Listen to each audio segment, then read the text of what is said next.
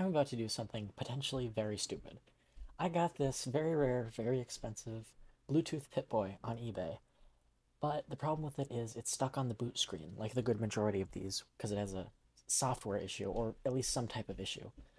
But I have theory, well, it's not really my theory, I stole it from some guy on Reddit, that if I take this apart and replace the battery, I can get it working again. The stupid part being taking this apart, because I could very possibly completely ruin it. But I am hoping to find a solution and a way to fix these things. As far as I know, that guy's theory has not been proven yet. I'm going to attempt to prove it. Here I am taking out the backup battery. It's just a little like button watch battery. Um, I point to where it came from and I'm going to just replace it. I have replaced the battery. Um, I'm going to turn it on now. I got it all back together. I'm really, really hoping this works because otherwise I am more or less out of ideas. Come on.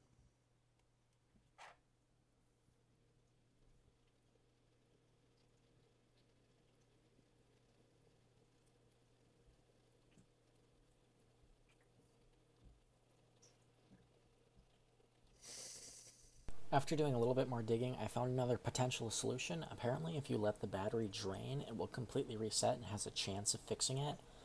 Um, I really hope this works because I'm having to go through more pages of Google than I ever had to try to find answers.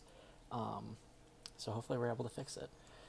No idea how long the charge lasts on this thing. I have been charging it for the last like eight hours probably, so it might take a bit, but hopefully when I turn it back on, it will be good, hopefully.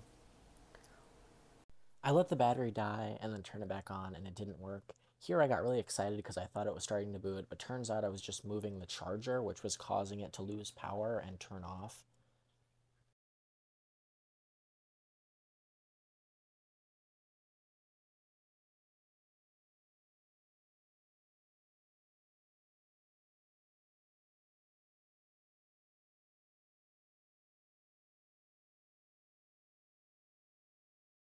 This is about a week later. I ordered a new main battery and it is now here. Here is the old battery and here is the new one. They are the exact same, but I'm hoping that this will do something. I am not an electronic genius, if you can't already tell, but I'm hoping this will do something. Something I noticed with these two batteries is the red and the black are actually like different on each one. I don't know why they're like swapped around.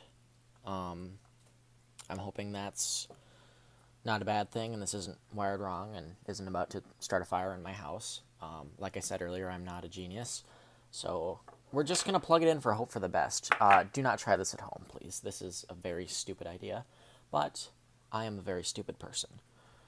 Okay, so we have a new backup and main battery installed in this thing. I'm really hoping that'll do something. Um, the main battery is hanging out here just because I don't fully trust it, and if it starts to like smoke or something, I can easily take it out or turn this thing off. Um, you know, if I put it all back together, it'd be really hard to get to it in an event of something bad happening. Um, all right. Moment of truth.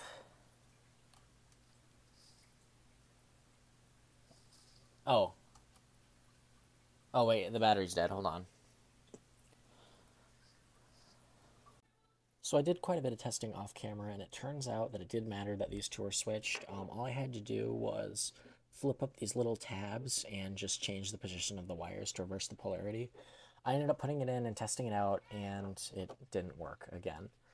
Um, I don't really have any other ideas for solutions. There's not a ton of information you can find uh, because there's not a lot of people trying to do what I'm trying to do right now. Um, but if anyone else has any more ideas on how I could possibly get this thing working, please, please let me know. Because I'm trying to figure out a solution for this, and I have not yet. Um, I'm hoping that I can make another one of these and have it working. So if you have any ideas at all on how I could get this fixed, please let me know. You, before I end this, there are quite a few people I want to mention that helped me uh, figure out these solutions to try, uh, even though none of them ended up working. Um, there were two Reddit posts one from someone who had theirs miraculously start working, and another about what could possibly cause the boot error or something with a backup battery. I also used quite a few YouTube videos. There was one about replacing the backup battery, but it was only in French. So I went in line by line, Google translated every single line. Um, there was also a guy that I found in quite a few YouTube comments on some old videos that said he was working on making a solution. He was going to make a big video to try to fix the problem. And uh, as far as I know, he never ended up making the video. I've checked on his channel. I've tried to find other comments from him, but it appears that he never ended up actually making anything. So if any of you people are still out there, or just anyone that has an idea, please let me know because I would love to get this thing working and be able to show it off and hopefully offer a solution for other people who have this same problem and are trying to fix theirs.